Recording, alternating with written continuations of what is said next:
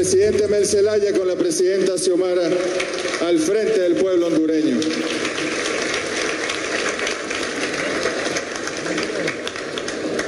Y se planteó en nuestro continente un Banco del Sur. Se firmó el Banco del Sur, pero no logramos que existiera. Pero en el ALBA existe el Banco del ALBA.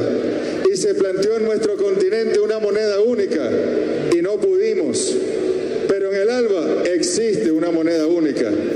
Y se planteó nuestro continente Petrosur, un proyecto energético para todo el sur. Y no pudimos. Pero en el ALBA existe Petrocaribe.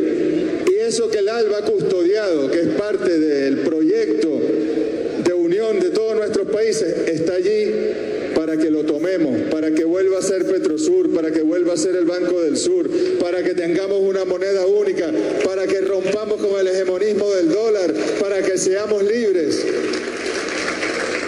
El espíritu del ALBA va mucho más allá de los 10 países que la conforman. El espíritu del ALBA está allí en los movimientos sociales de América, en los pueblos, en su organización, en sus comunas, en sus comunidades. Y por eso, y estuvo el presidente Zelaya en Caracas en abril de este año, 19 de abril, desde los movimientos sociales que hacen vida en el ALBA y que trascienden, insisto, hay movimientos sociales de México, de Argentina, de Paraguay, de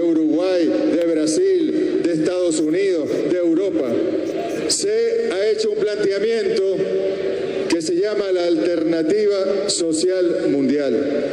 Yo quiero traer esto aquí para que tanto la CELAC Social como el Foro de Sao Paulo discutan este documento, porque aquí no estamos planteando, y con todo el respeto, hay unas agendas sectoriales, la agenda feminista, nuestras mujeres que están al frente de todos los sectores y todos los procesos las agendas contra la discriminación de nuestros pueblos indígenas, de nuestros pueblos afroamericanos, las agendas en favor de la vida, todas esas agendas, las agendas de los derechos de la diversidad, LGTQ, todo eso tiene cabida en la izquierda. Pero cuidado y nos quedamos en nuestro sector encerrados.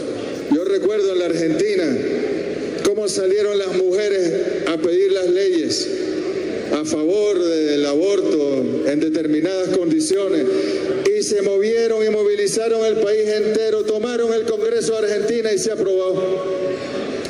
Y la felicitamos.